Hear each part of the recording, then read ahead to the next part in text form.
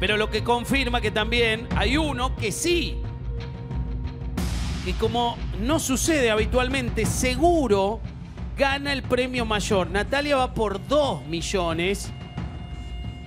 ¿Quién va a empezar? ¿Quién da el puntapié de este match? Levantó la mano Susana Vega. Trabajaba en el ejército como enfermera. Susana, que es de Corrientes. Curuzucuatiá, ¿Y el millón para qué sería, Susana? para compartirlo con mis hijos y hacer un viaje. ¿Qué estás apretando ahí? Ah, tengo una medallita eh, como amuleto que están los tres nombres de mis hijos y los dos de mis nietos. Mucha suerte.